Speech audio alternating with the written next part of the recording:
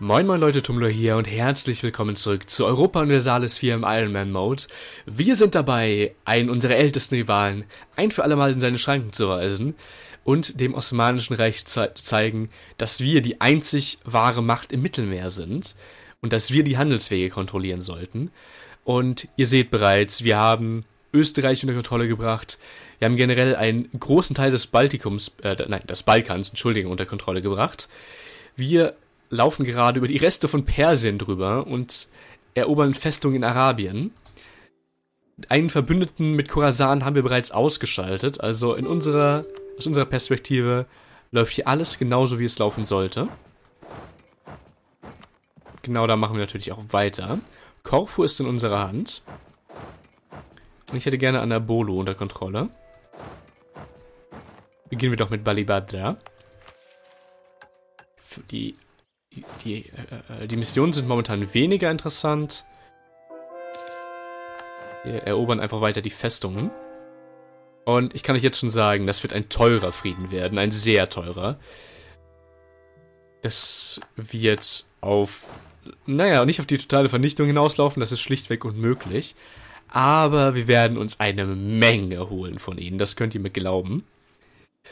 Und ich würde an der Stelle auch sagen, splitten mal wieder eine Armee etwas auf, um einzelne Provinzen zu sichern. Wieder einmal, statt Festung. Und einfach ein bisschen für Ordnung zu sorgen. Leider erkennt man das so schlecht bei diesen beiden Nationen, weil die Farben halt doch recht ähnlich sind. Man muss schon genau hingucken, was bereits unter Kontrolle ist und was nicht. Das funktioniert. Auf nach Anabolu. Vorräte für die Kosaken. Das Leben im Grenzland kann hart sein. Die Kosaken sind es zwar gewöhnt, ihre Schlachten alleine zu schlagen, aber einen kleinen Zuschuss aus der Schatzkammer könnten sie wahrlich gut gebrauchen. Die letzte Jahreszeit war ungewöhnlich harsch. Zusammen mit einer steigenden Anzahl von Tatareneinfällen hat das dazu geführt, dass viele Kosaken für die kommenden Monate zu wenig zu essen haben. Würden wir den Kosaken Getreide und militärischen Nachschub wie Waffen und Uniformen liefern, würde dies unsere Steppenverteidiger nicht nur direkt stärken, sondern sie wahrscheinlich auch unserem Staat verbundener machen. Loyalität und Einfluss. Wir können es uns leisten, machen wir. Wir schicken ihnen, was sie brauchen.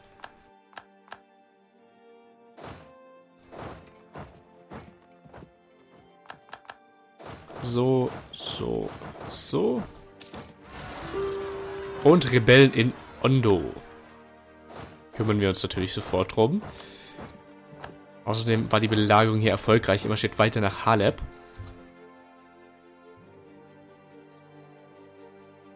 Oh, wir können mittlerweile auch hier im Sudebnik wieder, oder bei unseren russischen Fähigkeiten wieder alles einsetzen. Dann reformieren wir doch den Sudebnik und wir unterstützen auch immer den Opritschnina, denn ich habe nicht so wirklich viel Lust auf weitere Rebellen aktuell. Bing begleicht in der Zwischenzeit die Schulden von Khorasan. Und Aserbaidschan ist in unsere Hände gefallen. Hervorragend. Gleiches Spiel wie an schon so vielen anderen Punkten. Wir sichern uns erstmal mehr Land. Denn jedes Stück Land, das die Osmanen nicht kontrollieren, das sie nicht unter direkter Kontrolle haben, bringt ihnen kein Geld ein. Ragusa ist gefallen. Und ich habe gerade gesehen, dass Malaysia sich scheinbar dazu bequemt hat, auch mitzukämpfen. Mal sehen, schauen wir uns das gleich näher an. Ihr wart schon mal erfolgreich. Ich denke, die werden weiter nach Kleinasien marschieren gleich. Ja, tatsächlich. Malaysia ist hier in Indien angelandet. Wir sollten bei Gelegenheit eine Armee abstellen, die sich darum kümmert. Aber erstmal kann zumindest unsere Flotte ein bisschen Druck machen in dem Bereich. Und ihr sammelt euch einfach erstmal wieder. Die 13 Kolonien beleidigen uns. Oh ja, wunderbar.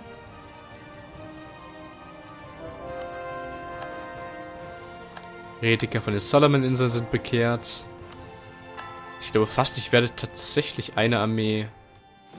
Hm, wisst ihr was? Wir, wir werden keine Armee abspalten. Wir werden eine kleine Armee ausheben. Hier oben. Einfach nur eine Verteidigungsarmee, die sich dann um die Truppen kümmern können, die aus Malaysia kommen. Und ihr marschiert in der Zwischenzeit weiter nach... Ja, nehmen wir gleich Ankara. Ankara wirkt mir wie ein guter Plan aktuell.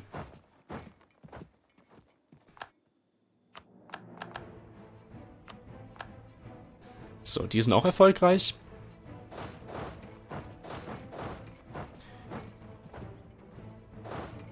So, so und so. Ihr könnt hierhin marschieren. Äthiopien erobert halt mitten in unserem Territorium Gebiete. Aber gut, solange sie nichts erobern, was ich fordern will, und ich sag's mal so, alles, was ich fordern will, habe ich bereits unter direkter Kontrolle. Mit Ausnahme von hier ein bisschen was.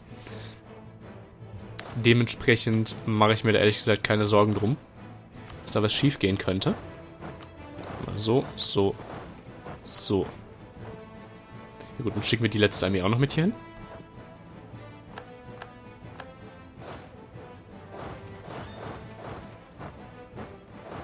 die sollen sich auch wieder sammeln.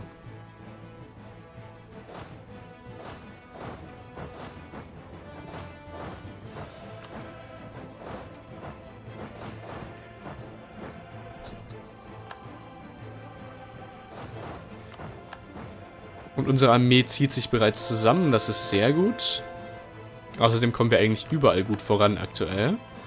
Man schickt immer weiter nach Athena. Und ihr werdet euch gleich hier oben sammeln mit der gesamten Armee. Und ich glaube, wir werden langsam versuchen, über den Bosporus überzusetzen. Das war doch der Bosporus, oder bin ich gerade geografisch was durcheinander? Moment. Ist der Bosporus. Das Handelszentrum äh, Zentrum heißt so. Daran erkennen wir es. Qualitätselfenbein. Unsere Elfenbeinproduktion ist seit kurzer Zeit qualitativ hochwertiger als zuvor. Das Volk bewundert die Qualität der handwerklichen Bearbeitung. Ein guter Tag, wir halten Prestige. Wunderbar.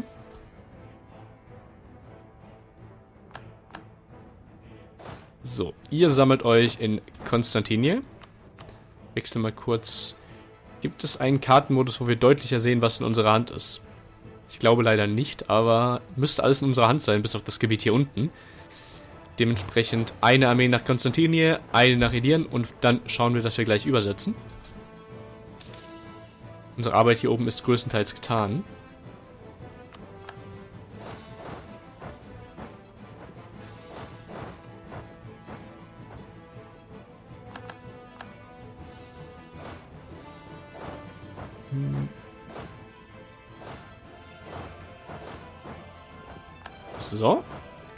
Haleb ist ebenfalls in unserer Hand. Die nächste Festung weiter nach Itche. Kosakenaggression. Ja gut. Äh, diese Angelegenheit ist für uns nicht zu steuern. Interessiert mich nicht, wie die anderen darüber denken. Wir sollten natürlich auch bei den Bekehren weitermachen. Oh, es kommt zu einer Schlacht. Konstantin Repnin führt unsere Truppen zum Sieg. Zu einem eindeutigen Sieg. Also wir wissen, wir können uns den Feinden definitiv entgegenstellen. Sie haben für gewöhnlich keine Chance gegen unsere Truppen. Und wir werden jetzt versuchen, eine weitere Schlacht zu schlagen. Denn wir setzen jetzt über. So. Die machen hier oben Fortschritte, aber wir haben unsere Truppen bereit. Oder zumindest den größten Teil davon. Das heißt, ihr marschiert los, um Malaysia zurückzuschlagen und dann das eigene Territorium wieder zu sichern. Wir haben in dem Gebiet halt keinerlei Festungen, das macht es etwas schwieriger. Aber gut. So, ihr sammelt euch hier. Ihr seid auf dem Weg dahin.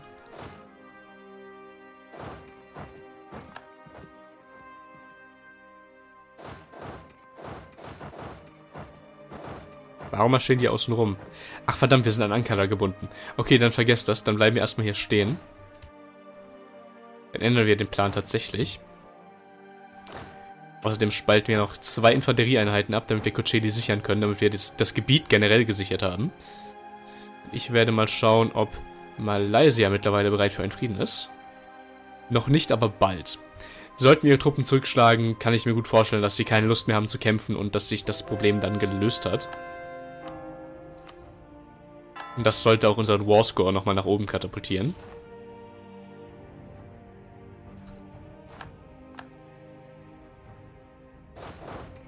So, das Gebiet ist ebenfalls gesichert. Ankara ist in unserer Hand. Das ist gut, das ist wichtig. Stopp, nein, ihr zieht euch bei Sinop zusammen. Die andere Armee kann sich bald anschließen. Außerdem machen wir genau das. Wir sammeln weiterhin unsere Truppen. Und unser Zar ist ein leidenschaftlicher Wandlungspartner. Das würde Söldner günstiger machen, bringt uns aktuell natürlich herzlich wenig. Da wir, glaube ich, im ganzen Spiel... Also wir haben eine Zeit lang, glaube ich, Söldner genutzt, aber wir hatten nie wirklich das Geld, um das effektiv zu machen. Aber jetzt lasst uns doch mal 80.000 Osmanen gleichzeitig zum Kampf stellen und ausschalten.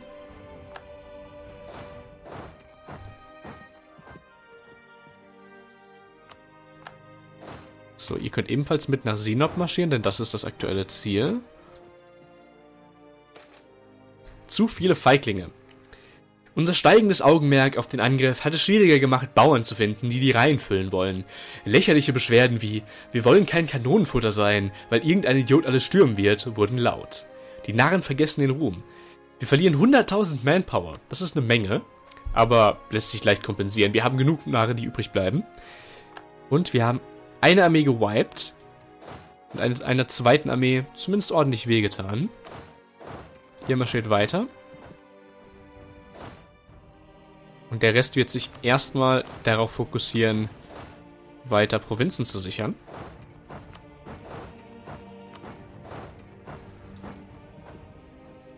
Und ich glaube, sobald wir Malaysia jetzt hier weg haben, müssen wir uns keine Sorgen mehr machen. Kriegen wir nämlich auch gleich raus. Machen wir mal so. Fokussieren wir uns erstmal darauf, ein bisschen Land zurückzuholen tatsächlich. Oh, wir haben die Dominanz im Baumwollehandel. Gut, Koloniewachstum bringt uns nicht viel und... Das Osmanische Reich ist bankrott gegangen. Damit haben sie verloren. Also hat sie sowieso schon, aber endgültig. Die törichten Herrscher vom Osmanischen Reich haben ihren Reichtum verprasst.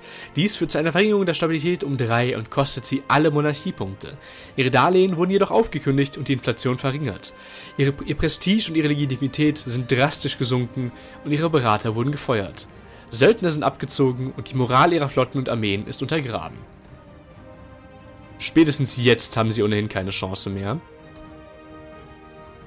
Aber auch vorher hatten sie lange keine guten Chancen.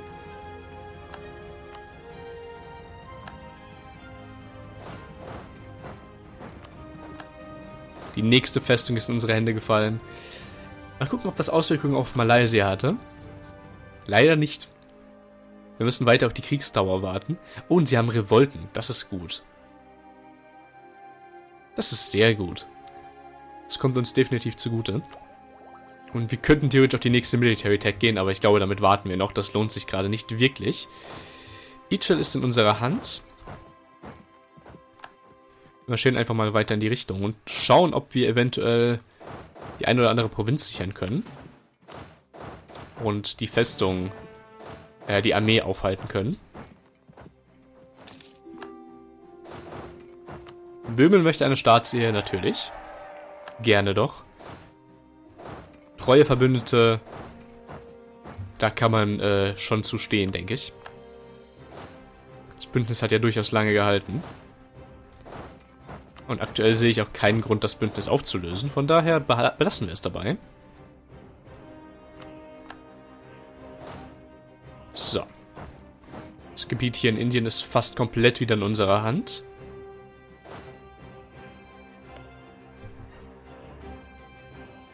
Diese Insel haben wir jetzt ebenfalls besetzt. Kreta und Co. gehören uns ja sowieso schon.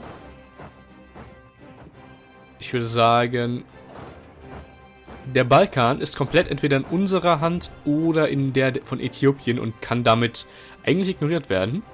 Wir lassen diese Truppe in Konstantinopel stehen. Wer weiß, ob nicht irgendwo Rebellen auftauchen.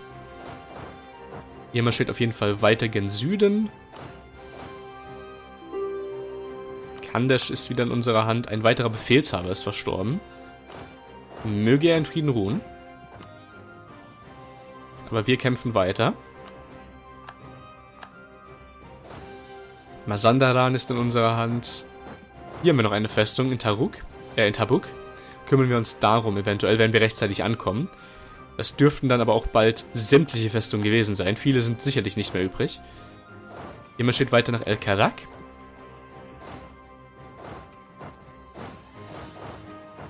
Ihr nach Bosok, ihr nach Anasia.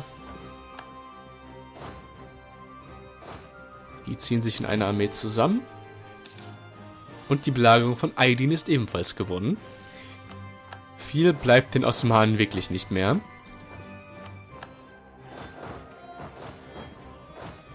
So, und ihr könnt auch nochmal mit hier runter marschieren. Zumindest Antiochia, beziehungsweise Antakya, wie es hier heißt, hätte ich gerne. Malaysia ist immer noch nicht bereit für einen weißen Frieden. Ich glaube, ich werde tatsächlich gleich einfach hier die Armee aufsammeln und mit der Flotte übersetzen. Denn selbst ein kleines bisschen äh, mehr Druck sollte schon fast ausreichen, um sie rauszudrängen.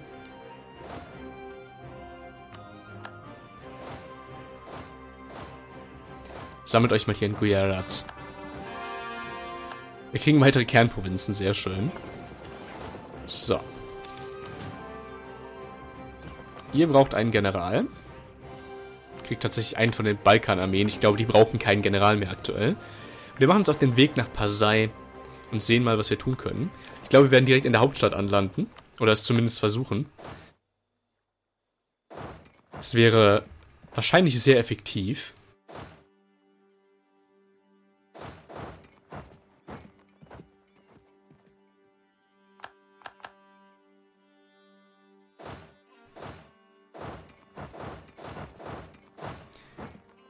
Wäre ebenfalls in unserer Hand. Ich werde dann wahrscheinlich bei Gelegenheit auch noch den Irak angreifen, schnell erobern, um die, um die Grenze da schön zu machen. Also ich möchte hier tatsächlich bis zum Gebirge vorrücken.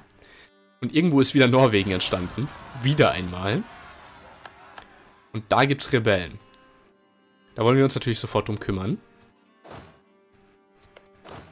Die haben natürlich ein anderes Ziel aktuell. Aber die Armee aus dem Balkan darf losmarschieren. Und kriegt mal diesen General mit sollen sie sich doch bitte gleich darum kümmern. Und die brauchen bis zum 27. Juli, bis sie dort angekommen sind. Behalten wir im Auge. Fällt auch gerade auf, dass wir natürlich einen weiteren General, äh, einen weiteren Händler aktuell haben, den wir bald wieder losschicken sollten. Hat aber auch noch einen Moment Zeit, möchte ich behaupten.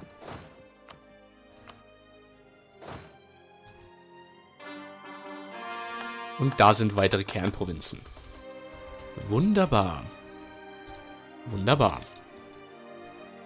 In Jabal Shammar kommt es zu einer Schlacht, wenn man das denn so nennen möchte. 1000 Mann, die einfach überrannt werden, sind keine wirkliche Schlacht, möchte ich behaupten.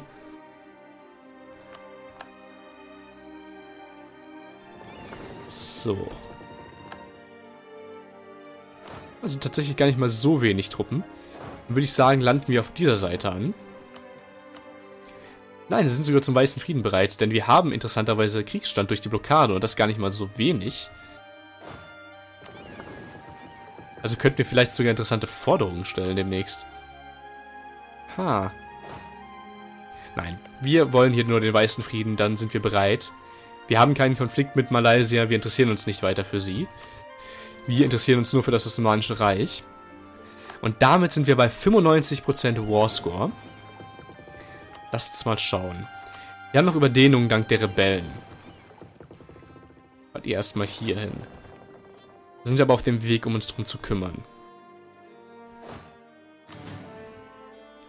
Ihr könntet mit nach Indien marschieren.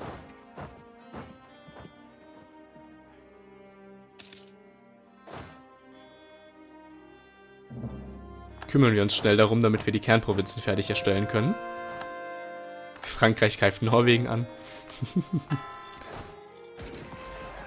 so, die haben wir.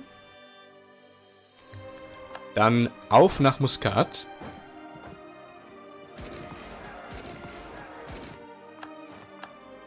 Das war's für die Rebellen. Gleich kriegen wir die Kernprovinzen.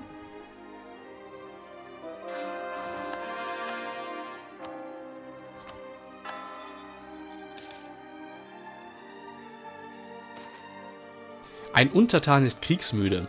Wie es scheint, wurde einer unserer Untertanen durch unsere Kriege ein wenig destabilisiert. Natürlich könnten wir ihn mit sich selbst, äh, könnten wir ihn um sich selbst kümmern lassen, was er offensichtlich sehr gut gemacht hat. Nicht schlecht. Die haben gut Land erobert und das Ganze ohne unser Zutun. Natürlich können wir ihn, um ihn sich selbst darum kümmern lassen, doch es wäre eine Geste guten Glaubens, wenn wir ihm helfen. Wir geben ihnen Gold, um sie zu stärken, natürlich. Unser Mexiko hat hier, hat hier ganze Arbeit geleistet. Und die Osmanen haben einen Frieden mit Äthiopien geschlossen. Sie sind nicht nach Arabien. Sie haben hier diese eine Provinz, die die Osmanen hatten, geholt und sind nach Ägypten vorgerückt. Haben außerdem jede Menge Gold bekommen. Wir haben ein anderes Ziel. Wir warten noch, bis wir unsere Kernprovinzen haben. Ich glaube, damit sind auch wir bereit, über den Frieden zu verhandeln. Der Frieden sieht folgendermaßen aus. Wir nehmen Österreich, alles, was die Osmanen von Österreich kontrollieren, in unseren Besitz. Drängen sie damit aus dem Heiligen Römischen Reich raus, denn das ist, das ist christliches Gebiet, das kann nicht von Ungläubigen gehalten werden. Genauso wollen wir natürlich Konstantinopel wieder zurück ins, äh, in, den, in, die, in die Hände der Kirche bringen. Dazu hier eben das Grenzgebiet. Außerdem ist es die Hauptstadt des Osmanischen Reiches und symbolischer kann es kaum werden und eine effektive Grenzverteidigung entlang des Sagros-Gebirges und des Hakkari-Gebirges wollen wir hier ebenfalls festlegen. Damit können wir nämlich das komplette Gebiet mit 1, 2, 3 und 4 Festungen gegenüber dem Osmanischen Reich absichern. Der gesamte Kaukasus ist in unserer Hand. Ah, das, das, das fühlt sich gut an. Es fühlt sich gut an, das gleich zu fordern. Wir werden natürlich, ihr seht, die Überdehnung ist enorm. Wir werden viel an, ähm, an weitere Nationen abgeben müssen. An Satellitenstaaten. Aber dennoch ist das ein wunderbarer Frieden, wie ich finde. Und ich bin gerade fast verleitet, noch mehr zu fordern, weil wir tatsächlich so hoch gekommen sind. Gerade was hier Inseln wie Korfu angeht. Aber auch zum Beispiel das hier wäre interessant. Denn damit, nur mit diesen beiden Provinzen, wer geografisch sich gut auskennt, weiß genau, was hier passiert. Mit diesen beiden Provinzen könnten wir den Kanal bauen. Mir fällt der Name gerade nicht ein, ich werde mal kurz nachschauen. Den Suezkanal natürlich. Und hätten damit die Möglichkeit, doch ganz gut hier vorzugehen, was Flotten angeht. Außerdem überlege ich gerade, ob es noch weitere sinnvolle Provinzen gibt. Aber ich glaube, damit hätten wir die wichtigsten abgedeckt. Eine Handelsstadt wie Ragusa macht auch noch Sinn. Ein Handelszentrum. Ah, das ist wunderbar. Gold können sie uns keins mehr geben, zumindest nicht relevant viel. Überlege noch, ob ich Cocelli noch nehmen soll, einfach nur um hier den, die Position zu haben, aber ich glaube, die brauchen wir nicht. Wir können ja von da aus durchaus aktiv werden. Von der anderen Seite. Aber wir nehmen noch die Provinz Waan dazu. So. Das ist ein Frieden, der sich gewaschen hat. Ah, schaut euch das an. Schaut euch das an, Leute. Ist, ist es nicht großartig? Ist es nicht wundervoll? Und ich finde tatsächlich, das ist auch ein wunderschöner Endpunkt für das Projekt. Ich werde jetzt natürlich noch dafür sorgen, dass das ganze Land stabiler wird. Ich werde schauen, dass ich gewisse Gebiete an ähm, Satellitenstaaten jetzt übergebe und so weiter. Frisch eroberte Gebiete natürlich. Ähm, Österreich möchte ich selber behalten, genauso die ganzen kleinen Gebiete. Aber gerade hier der, der persische Bereich, sage ich mal, soll durchaus in den Händen von jemand anderem landen. Die Frage ist nur, wo wir da beginnen. Wir könnten theoretisch, also wir könnten tatsächlich Georgien entlassen. Die hier einen Großteil bereits als Kernprovinz hätten. Na, wobei, ein Großteil ist übertrieben, das sind die vier Provinzen. Fünf. Wir hätten Trapezunt, wir hätten Armenien. Ich glaube, es ist sinnvoller, wenn wir die Provinzen eigenhändig übertragen. Und ich würde sagen, wir beginnen mit Tabriz. Indem wir Persi äh, Neupersien gründen. Eine Monarchie mit einer lokalen Dynastie. Und definitiv nicht in grün. Auch wenn es zu Persien passend ist. Aber ich möchte jedoch, es, es soll immerhin ein Puffer sein, der kann sich durch Farb, durchaus farblich hervorheben. Dementsprechend gebe ich den glaube ich, einen Rotton. Ja, der hier sieht schön aus. Das Wappen wird dementsprechend zumindest ein wenig rot enthalten.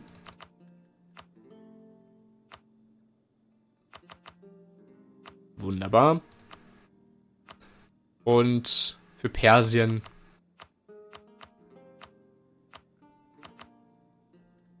schauen wir mal.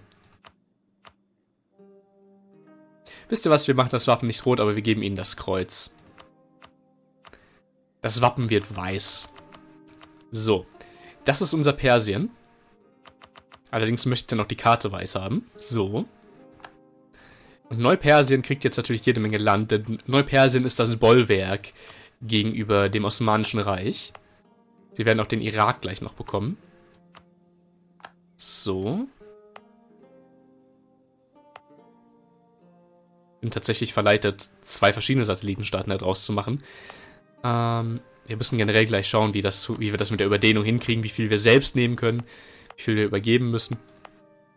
Also ich werde die auf jeden Fall bis hier nach Shirvan hochziehen. Und man muss dazu sagen, das Gebiet, das sie jetzt bekommen, ist natürlich nicht wirklich Persien. Persien fängt ja weiter im Osten erst an. Das ist quasi hier das Gebiet. Aber ich finde den Namen doch durchaus passend. Wobei Georgien eigentlich besser gewesen wäre. In, in, dem Zusammenhang, dass wir natürlich äh, den orthodoxen Glauben verteidigen. Und Georgien immerhin ein wichtiges Königreich des orthodoxen Glaubens ist und war. Leider aktualisiert sich das nicht vernünftig. Ich werde einfach mal weiter das Gebiet hier übertragen. Und dann einen Monatswechsel abwarten.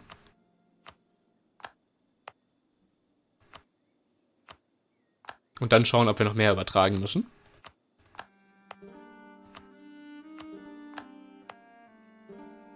Wie gesagt, wollen wir hier vor allem eine Pufferzone haben.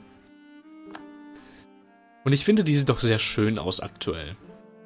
Ob wir da noch mehr übertragen, werden wir gleich sehen. Die paar Tage lasse ich jetzt erstmal laufen. Retiker von Malva sind bekehrt. Äh, dann möchte ich genau da hinten auch mal weitermachen.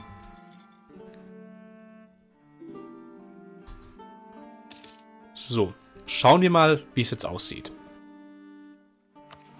Überdehnung ist immer noch zu hoch, aber nicht mehr viel zu hoch. Brabant hätte gerne Graz. Nein, danke, sicherlich nicht. Ähm, dementsprechend werde ich jetzt wahrscheinlich einfach noch mehr Land an Neupersien übertragen. Denn das Gebiet hier will ich auf jeden Fall behalten. Bekommen Sie noch das hier. Das werde ich, denke ich, behalten.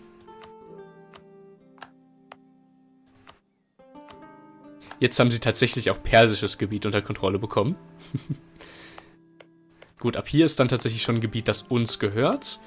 Und wo es wenig Sinn machen würde, es zu übertragen. Ich überlege gerade, ob ich sie bis Masanda dann vorgehen lassen soll, aber ich glaube, das behalten wir in unserer Kontrolle. Aber ich glaube, ich werde ihnen tatsächlich noch Dagestan geben. Einfach weil das hier zu Shirvan dazu gehört. Und... Ja, wobei. Eigentlich gefällt mir die Karte ganz gut so, wie sie gerade aussieht. Eventuell müssen wir noch einen weiteren Satellitenstaaten erstellen, sonst wird's eng. Also das Gebiet wollen wir auf jeden Fall unter direkter Kontrolle behalten, das ist klar, da können wir schon mal anfangen, Kernprovinzen zu erstellen. Genauso Ragusa. Und eben Thrakien. Das Gebiet rund um Konstantinopel.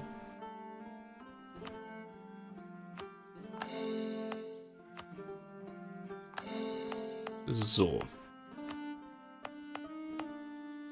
Ach stimmt, Indien ist ja bereits eine Kernprovinz, da war ja was. Ich würde sagen, wir warten jetzt nochmal einen Monatstick ab, bevor wir weitermachen.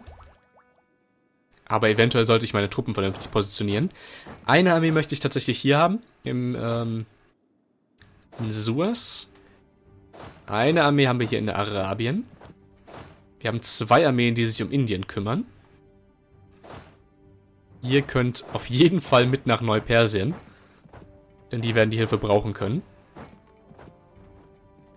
Erstmal hier nach Dashtistan. Man merkt, das Gebiet ist nicht für große Armeen geeignet. Dementsprechend ziehen wir uns ein Stück weit zurück. Aber der Rest kann eigentlich so bleiben. Außer, dass ich eine Armee natürlich noch ähm, nach Österreich ziehen möchte. Deswegen lassen wir jetzt mal kurz weiterlaufen. Und wir haben zu viele diplomatische Beziehungen. Stimmt, wir unterstützen immer noch die Unabhängigkeit von Kuba. Die ja irgendwie keine Lust auf Unabhängigkeit haben. Dementsprechend geben wir das jetzt auf. Portugal interessiert uns nicht weiter, ehrlich gesagt. Ich glaube, der Riese hat sich langsam satt gefressen. 114. Also wir müssen noch mehr abgeben. Leider. Die Frage ist jetzt allerdings, was geben wir ab?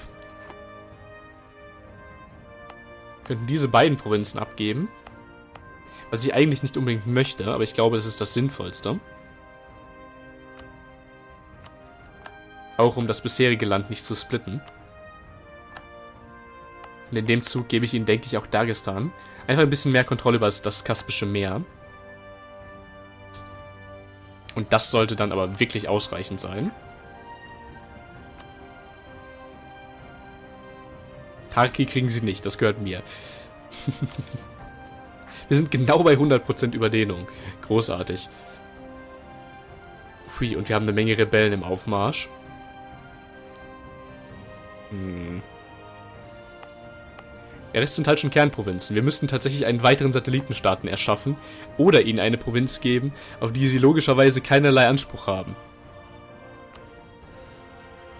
Ich bin gerade verleitet, Ragusa zu entlassen. Einfach aus Prinzip. Nein, ich denke, wir stehen das durch. Genau 100% Überdehnung ist nicht angenehm, aber damit sollten wir klarkommen. Wir haben Frieden mit dem Osmanischen Reich. Und die Folge wird extra lang. Ich möchte nämlich tatsächlich noch ein bisschen durchziehen, bis das Land jetzt sich wirklich stabilisiert hat. Und wir die neuen Kernprovinzen unter Kontrolle haben. Es wird nicht mehr viel passieren. Es ist die letzte Folge. Das, das kann ich spätestens jetzt sowieso schon sagen. Ich glaube, ich hatte es auch schon gesagt. Ähm, wir werden jetzt nur das Reich stabilisieren und dann das Projekt beenden. Also für alle, die jetzt schon abschalten wollen, weil es wird nicht mehr viel passieren. Ich bedanke mich fürs Zuschauen. Es hat viel Spaß gemacht. Es war ein sehr interessantes Projekt, finde ich. Vor allem, weil wir halt so lange die Ausgangslage hatten, dass wir eine echt schwierige Situation hatten und, naja, nicht wirklich aktiv vorgehen konnten. War durchaus interessant. Aber jetzt aktuell sieht es doch eigentlich relativ gut aus, finde ich. Und das Spiel möchte immer noch, dass ich Frankreich rivalisiere. Und ich bin mittlerweile tatsächlich verleitet, das zu tun.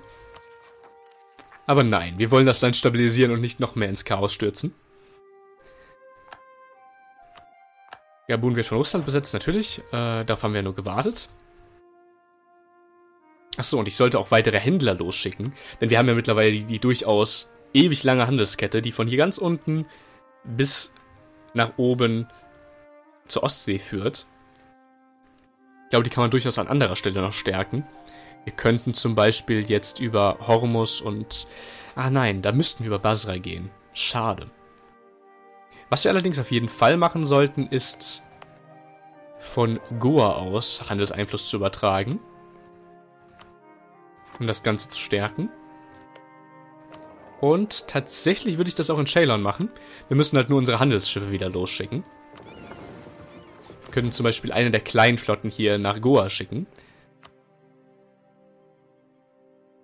Uh, nach Novgorod bringt viel. Sagt mir jedenfalls das Spiel. Wahrscheinlich, weil wir äh, in Novgorod ein großes Piratenproblem haben. Würde ich jetzt spontan tippen. Da werde ich mir gleich mal das Ganze aus der Nähe anschauen. Da habe ich was Großes gesehen. 13, ja geht. Goa, doch, da wollte ich ja sowieso jemanden hinschicken. Dann machen wir das auch. Schauen wir mal nach Novgorod. Da tatsächlich kein Piratenproblem. Oh, Händlerabwanderung. Mit der Minderung der Einschränkungen für ausländische Händler finden unsere eigenen Händler, dass sie nicht genügend staatliche Unterstützung erhalten und haben sich entschlossen, eine andere Karriere einzuschlagen. Nun gut. Soll vorkommen. Interessiert mich aber nicht besonders, wenn ich ehrlich bin. Wir haben die Dominanz des Baumwollehandels verloren. Außerdem haben wir Rebellen in Kohistan. Kümmern wir uns doch schnell darum. Natürlich stirbt der General, den wir gerade hier aktiv hatten.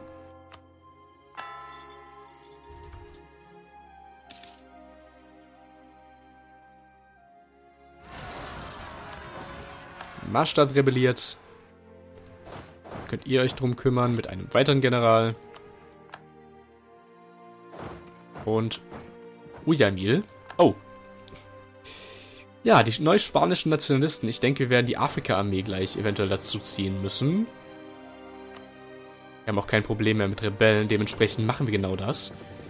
Oder wir nehmen tatsächlich einfach diese Armee und setzen mit der in die neue Welt über. Und kümmern uns dann gleich darum.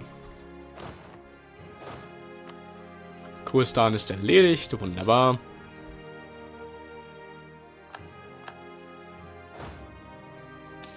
Und dann könnten wir bei Gelegenheit auch mal das Festungssystem überarbeiten. Oder ich würde es überarbeiten, wenn das Spiel noch weitergehen würde. Aber wir haben das neue Jahr. Wir holen uns das Gewehr. Die Schwäche der Muskete war die Tatsache, dass sie jenseits von 45 Metern äußerst ungenau war. Das Gewehr, auch wenn es niemals eine Standardwaffe der Infanterie war, trug dazu bei, dass die Eliteeinheiten über eine größere Reichweite verfügten, was der Armee eine insgesamt bessere Schlagkraft verschaffte. Sehr schön. Zumindest die Festung kann auf jeden Fall weg. Genauso die hier. Die ganzen ehemaligen Khorasan-Festungen können alle weg. Die braucht keiner mehr. Und tatsächlich ist auch diese Festung obsolet geworden, in Isfahan. Das, die Südgrenze ist durch Yasuj geschützt und die anderen Festungen werden durch unseren Satellitenstaaten geschützt. Die anderen Gebiete. Die Osmanen werden von Rebellen überrannt, mamelukische Nationalisten versuchen Ägypten zurückzuerobern. Ich würde es ihnen gönnen. Wenn das Osmanische Reich jetzt zerfällt, wäre es einfach, es wäre so passend. Es wäre so wunderbar passend. Wir haben Nationalismus gegen Russisch-Brasilien, weil sie die Kultur angepasst haben. Ich freue mich darüber, dass sie das gemacht haben. Die Rebellen hier sind mittlerweile auch erledigt. Und ehrlich gesagt hätten wir einfach die koloniale Südamerika-Armee gleich übernehmen können. Aber egal. Afnagar ist bekehrt. Machen wir weiter. Wir könnten jetzt wieder Malva angreifen. Was auch eigentlich sogar relativ sinnvoll und logisch wäre. Wie viel Land haben die denn noch? Wir können sie in einem Krieg vernichten. Wisst ihr was, wir machen jetzt eine richtig lange Mega-Folge. Ich habe da jetzt noch Lust drauf. Ich will jetzt Malva erobern.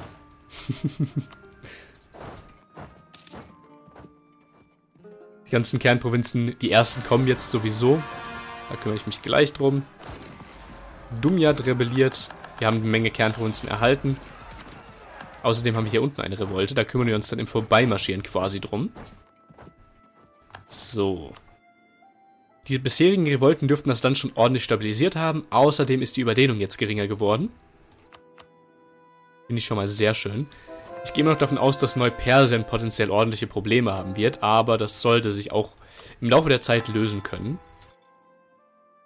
So, die sind ebenfalls erledigt. Ich will jetzt einfach noch Malva von der Karte radieren. Das ist ein, ein, ein nicht allzu schöner Fleck inmitten unseres Landes. So. Los geht's.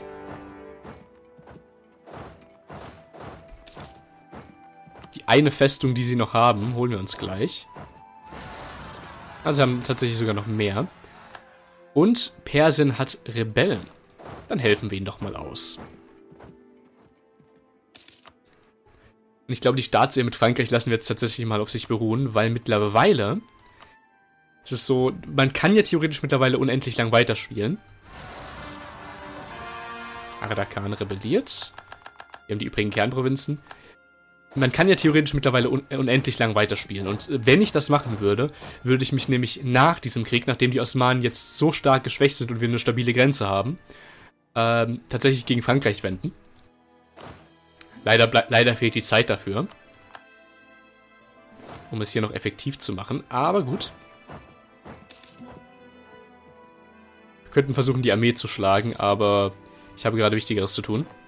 So wie Rebellen unterdrücken und ähnliches.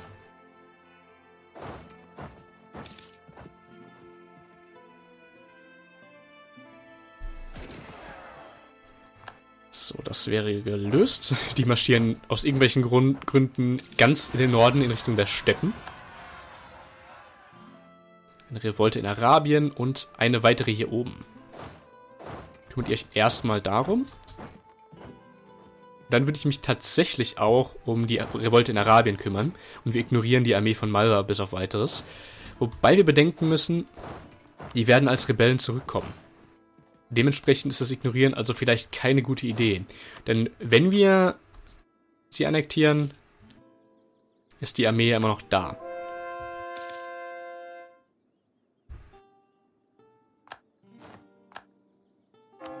Warum muss es bekehrt? Revolutionäre Ideale, natürlich wollen wir die übernehmen. Wir könnten jetzt ein revolutionäres Reich werden, aber wir sind ein Zarentum. Hofpolitik in die Lage zu kommen, ein Amt nahe des Zars am russischen Hof besch beschreiben zu können, kann sehr schwer sein, wenn man nicht zu einer der wenigen älteren Familien gehört, die eine lange Tradition des Dienstes aufweisen können. Auch wenn jemand von beträchtlichem Geschick sich selbst bekannt machen sollte, erwarten die alten Familien dennoch belohnt zu werden und die höheren Ränge am Hof beherrschen zu können. Kürzlich hat sich ein besonders junger Höfling einen Namen gemacht, indem er dem Zarentum gute Dienste erwies. Er, es gibt allerdings keine Position, in die er aufsteigen könnte.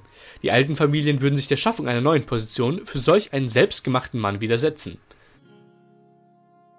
Hm, wir benötigen ihre Lo Loyalität. In Jerewan haben wir gewonnen. Wir haben eine Provinz bekehrt. Und in Ukek haben wir ebenfalls gewonnen. Das sollte reichen, um sie zu vernichten. Wunderbar. Ihr marschiert in diese Richtung. Und in Wahn haben wir ebenfalls gewonnen. Sehr gut.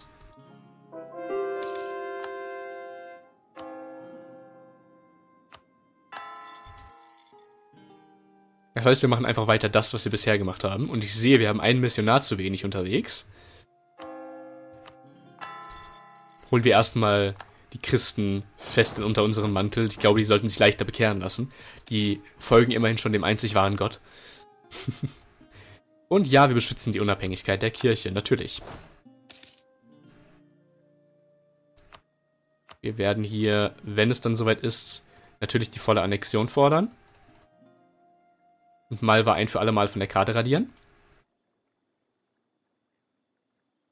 Und damit auch ein potenziell, ein, eine potenzielle Koalitionsmacht aus dem Weg schaffen. Da können sie in der Hinsicht immerhin nichts mehr machen, wenn sie erstmal weg sind.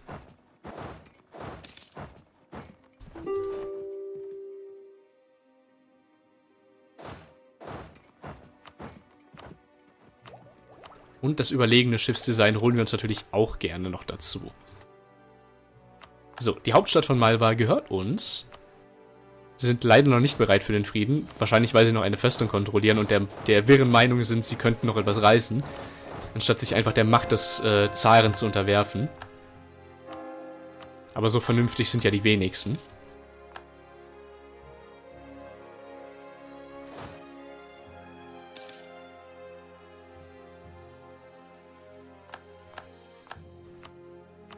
Jetzt sind sie bereit dazu. Nehmen wir noch etwas Gold dazu. Zwingen wir sie dazu, Kernprovinzen aufzugeben. Und annektieren wir sie. Malva ist damit auch ein Teil unseres Reiches geworden. Wir beginnen natürlich damit, Kernprovinzen zu erstellen und Rebellen zu vernichten. So wie sich das gehört. Und ich würde sagen, mit dieser wundervollen Karte verlasse ich euch gleich. Wir haben im Laufe dieses Let's Plays doch einiges erreicht. Wir haben leider nicht das äh, Maler Russia Achievement geholt. Äh, auch wenn wir Russland gegründet haben. Wie gesagt, ich vermute, dass man damit äh, eben Russland als erstes gründen muss. Was sehr, sehr schade ist. Aber gut, das werden wir irgendwann noch nachholen. Aber wir haben folgende Achievements erreicht. Folgende relevante Achievements erreicht. Breaking the Yoke. Wir haben also Yazan es geschafft, die ähm, die, die Steppennomaden zu erobern. Wir haben als orthodoxes Land eine 100% patriarchale Autorität erhalten. Wir haben als Riasan begonnen und alle anderen Ruikovics ausgeschaltet. Wir sind die einzigen.